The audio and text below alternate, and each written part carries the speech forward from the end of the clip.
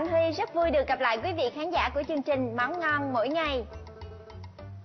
Anh Huy ơi, có một tình hình rất là căng thẳng đối với anh đó nha. Đối với anh Có chuyện gì vậy làm anh hồi hộp quá Ngọc Hương Nhìn cái mặt anh Huy căng thẳng kìa. Em chỉ đùa với anh Huy thôi. Đó là những thông tin phản hồi rất tốt từ phía khán giả. Trời ơi làm nãy giờ anh hết hồn Khán giả chia sẻ với anh những gì nè Khán giả chia sẻ với anh cũng như là chương trình Món ngon mỗi ngày Đó là họ rất cảm ơn chương trình đã hướng dẫn cho họ những món ăn ngon nè, dễ nấu Và đặc biệt á, là có thể làm phong phú cho bữa cơm hàng ngày đó anh Huy ừ, Anh cũng nghĩ như là Ngọc Hương vậy Ngọc Hương hy vọng rằng những người thực hiện chương trình Món ngon mỗi ngày đã phần nào mang đến cho quý vị những niềm vui và đặc biệt là chương trình sẽ có một ý nghĩa nào đó trong lòng quý vị. À mà thôi trở lại với món ngon trong ngày hôm nay đi. Anh sẽ hướng dẫn cho Ngọc Hương cũng như quý vị khán giả món ăn gì hả anh Huy? Món hôm nay có tên gọi là miếng xào sốt tương Lisa. Để chuẩn bị món này chúng ta cần có một số nguyên liệu và gia vị sau. Miếng Tỏi tép Cà chua Hành tây Nấm mèo Ngò rí ớt Hành lá Thịt xay Dầu mè Dầu ăn Tiêu Đường Hạt nêm ngon, Nước tương Lisa Và một gia vị nữa Đó chính là sốt tương Lisa Công nhận á, là nguyên liệu để làm món miếng xào sốt tương Lisa rất là đơn giản nha anh Huy. Ừ. Vậy thì đầu tiên mình phải làm cái gì trước hả anh?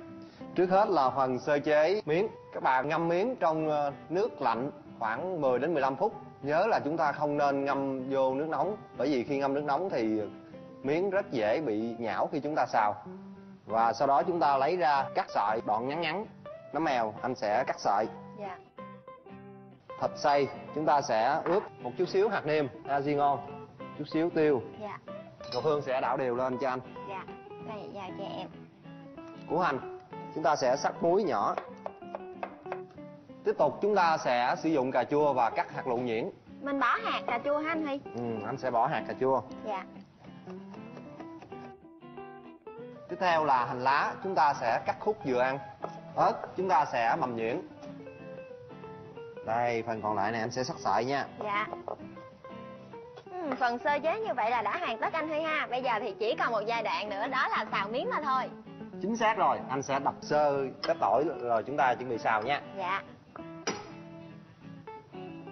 đây bây giờ anh cho cái chảo lên ngọc hương mở lửa lên Dạ. Trong lúc đợi chảo nóng, chúng ta sẽ pha nước ờ, sốt tương Lisa. Đây là phần cũng rất là quan trọng để làm cho món ăn ngon hay không là ở khâu này. Dạ. Chúng ta sử dụng sốt tương Lisa nè, Dạ. Mấy muỗng hả anh Huy ha? một muỗng rưỡi là được rồi Ngọc Hương. Dạ. Đường nè, Dạ. nước À. tương Lisa nè, Cách nước tương Lisa nữa. nước dùng khoảng nửa chén. Ngọc Hương khuấy đều lên cho anh nha. Dạ, để cho em. Chảo bây giờ cũng đã vừa nóng, chúng ta sẽ cho dầu vô. Đây, anh sẽ cho tỏi vô nha. Dạ. Đó, mùi tỏi bốc lên thật là thơm. Ừ, đúng là như vậy. Thơm mùi tỏi quá. Khi tỏi đã vàng thơm lên, chúng ta sẽ cho thịt heo vô xào. Tán đều thịt heo ra, Dạ. Mình xào cho thịt chín rồi mình mới cho Mình các xào nguyên liệu còn lại ha. lại. Dạ. sau đó anh sẽ tiếp tục cho nấm mèo vô nè. Và cả cà chua bằm vô. Đây, đảo đều lên, màu sắc có vẻ ổn rồi đúng không? dạ. Có màu đen nè, màu đỏ với cà chua, mà màu Phần- thịt cũng hồng hồng nữa ha anh Thúy ha. Phần tiếp theo là Ngọc Hương cho toàn bộ số sốt đó vô cho anh. Dạ. Để em cho sốt tương Lisa vô. Đây, anh sẽ nêm thêm một tí xíu à, hạt nêm thôi.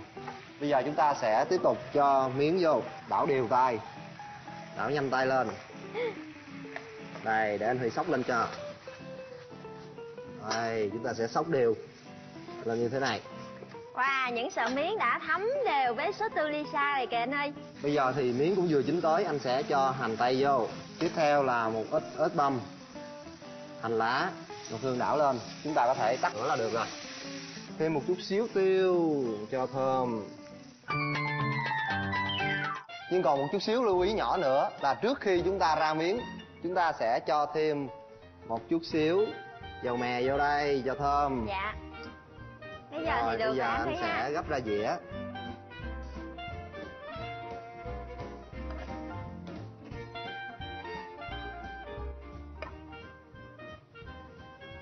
Cho thêm một xíu ớt lên, một ít ngò rí lên mặt, chút xíu tiêu. Như vậy là hoàn tất rồi. Hay quá. Quý vị khán giả thân mến, quý vị có thấy hấp dẫn không? Chứ riêng Ngọc Hương thì quá bị thuyết phục bởi cô món ăn này. Thời gian chế biến lại nhanh, nguyên liệu lại đơn giản. Mà thưởng thức á, thì chắc sẽ là ngon lắm đúng không anh Thi? anh sẽ cho em thưởng thức ngay mà Dạ. đừng có lo.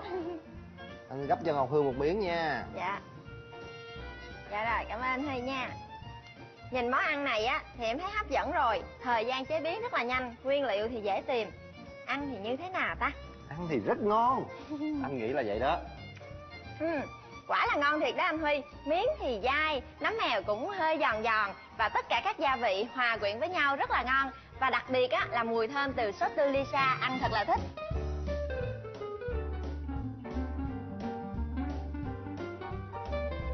chúc quý vị và các bạn thành công với món miếng xào sốt tương này nhé Quý vị hãy đừng quên đóng góp ý kiến để chương trình Món ngon mỗi ngày. Mỗi ngày sẽ đem đến cho quý vị thật nhiều những món ăn ngon và hấp dẫn. Vẫn có hai cách thức quen thuộc đó anh Huy. Quý vị khán giả hãy gọi điện thoại đến trung tâm tư vấn khách hàng của công ty Ajinomoto 061 882 6188 hoặc là cũng có thể viết thư về cho chương trình hộp thư 276 bưu điện trung tâm Sài Gòn. Chúng tôi những người thực hiện chương trình mong chờ những ý kiến của quý vị. Còn bây giờ Ngọc Hương và anh Huy xin được chào tạm biệt và hẹn gặp lại.